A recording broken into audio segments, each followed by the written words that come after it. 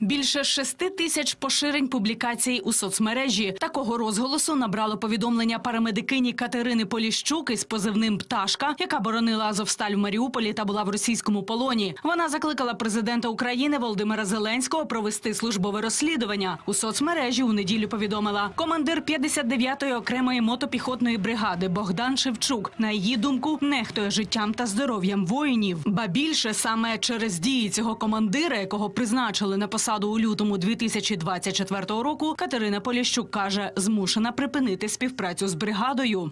Прошу вас, пане верховний головнокомандувачу, звернути увагу та провести службову перевірку за фактами злочинних наказів, свідомої недбалості, нехтування життям та здоров'ям особового складу щодо дій, які призвели до загибелі великої кількості військовослужбовців, зокрема із високих керівних посад, егоїзм, сліпий кар'єризм, усунення всіх незгодних командирів, пригнічення бойового духу та приниження особового складу повною байдужістю до основної мети військовослужбовців та його як командира у війні з ворогом. film Не вперше парамедикиня публікує інформацію щодо 59-ї бригади. Місяць тому, 15 червня, також у Фейсбуці писала припиняє роботу із 59-кою. Тоді розголосу її текст не набув. Нині на її звернення відреагував головнокомандувач ЗСУ Олександр Сирський. З метою перевірки ситуації в 59-й окремій мотопіхотній бригаді імені Якова Гандзюка та з'ясування обставин нещодавніх втрат серед особового складу, головнокомандувач збройних сил України ухвалив рішення щодо виїзду в зону відповідальності з'єднання комплексної робочої групи на чолі з начальником військової служби правопорядку збройних сил України. Прокоментували ситуацію п'ятому каналу і у самій бригаді. Наголошують, парамедикиня не проходила у них службу, волонтерила і допомагала одному з підрозділів. А такого ж типу публікації кажуть, підіграють на руку росіянам. робити розголос публічний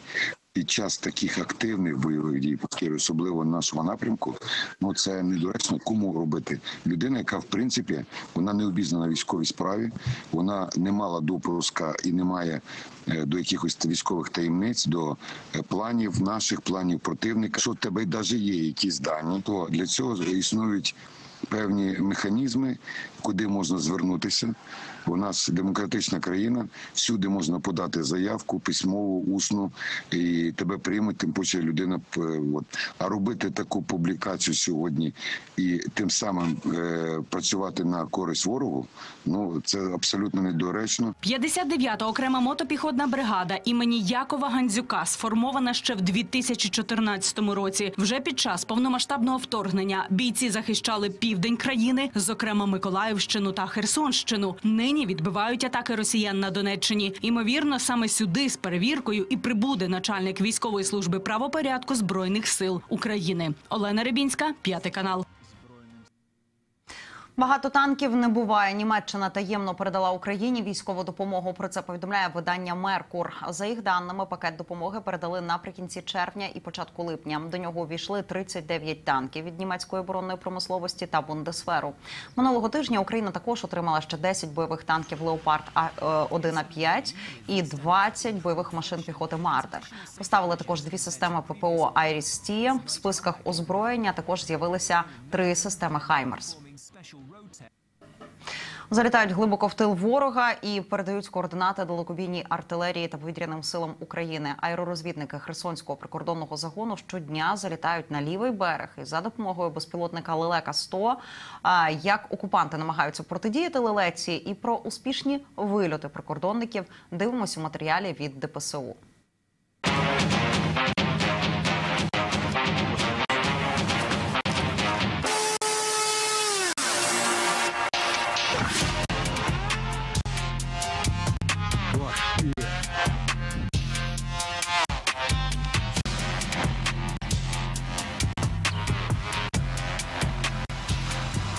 Яке завдання на сьогодні?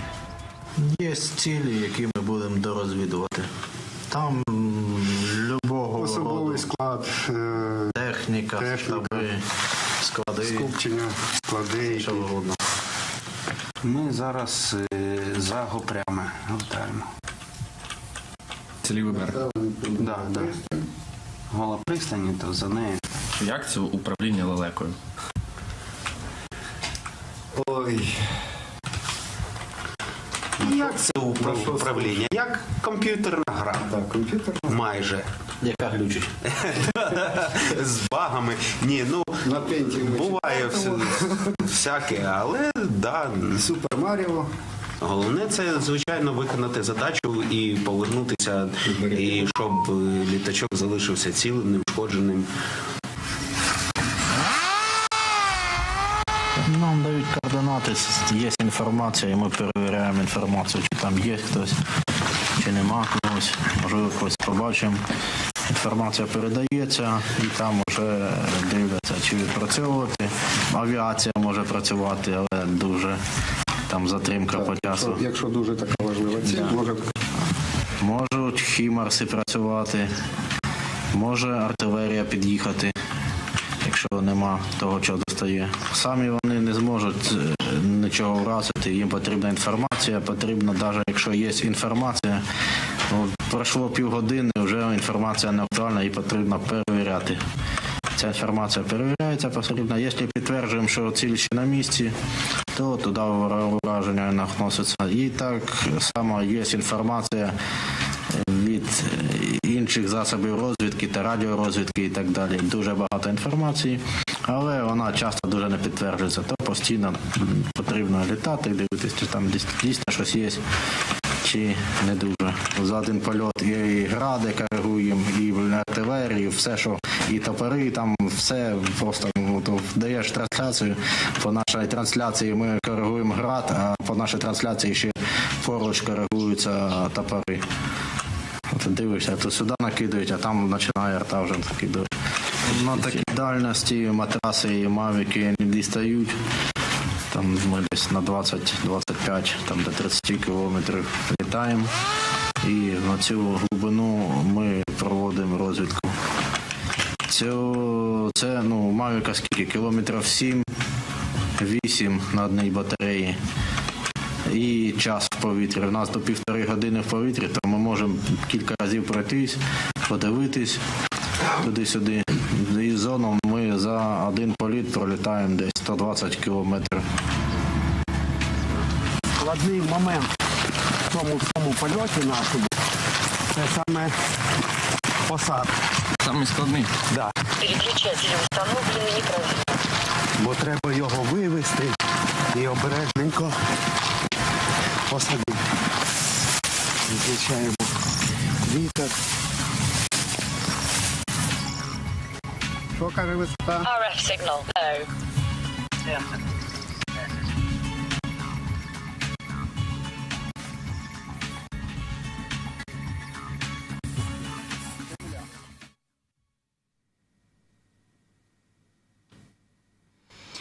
Прикордонник захищався і вистрелив у втікача військовослужбовця. Відкрили кримінальне провадження. За даними ДБР, напередодні у Захарівському районі Одеської області четверо військовослужбовців втекли з навчальної частини. Вони намагалися перейти до Республіки Молдова, а до кордону під'їхали на таксі. Військових затримали прикордонники. Один із затриманих напав на правоохоронця, щоб втекти. У відповідь прикордонник застосував табельну зброю і застрелив нападника. Невідкладні слідчі дії тривають, встановлюють обставини події. Попередньо правопорушення кваліфікували як перевищення службових повноважень, які спричинили тяж- тяжкі наслідки. Шпигував для Кремля за позиціями захисників неба в Одесі. Служба безпеки затримала агента ФСБ, який коригував ракетні удари по місту. Зрадник мешкає в прибережному селищі в Одеському районі, і він сподівався, що росіяни окупують область, а його зроблять чільником так званого будівельного управління при загарбницькій адміністрації. Агент РФ перебуває зараз в слідчому ізоляторі і може до віку провести за ґратами.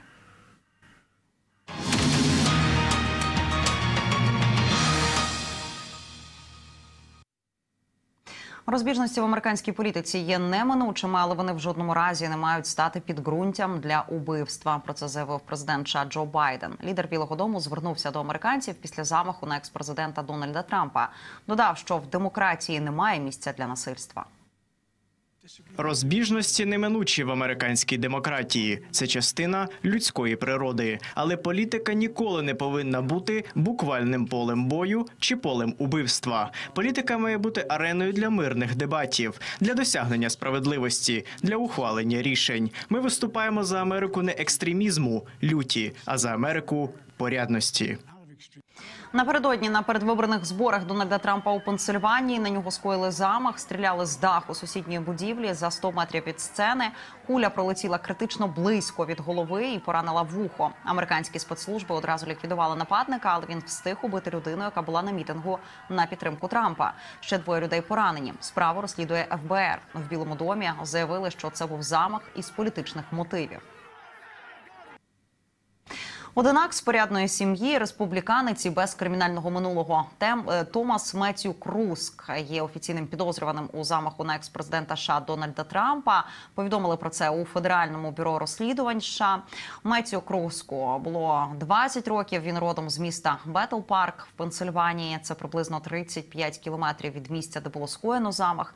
Два роки тому він закінчив середню школу. В старших класах мав складні стосунки з однолітками. Його цькували. Після випуску працював у будинку для літніх людей помічником дієтолога. Був зареєстрованим членом республіканської партії, до якої належить і Трамп, але не так давно робив пожертву до фонду демократичної партії. Особу вдалося визначити за зброєю, яка за версією слідства була використана для нападу. Гвинтівка AP-15 могла належати його батьку. Документів підозрюваного на місці злочину не було. Батьки Крукса були соціальними працівниками. Соцмережі ймовірного нападника не видаються підозрілими. Мотиви скоєння злочину невідомі. ФБР вважає, що він діяв сам.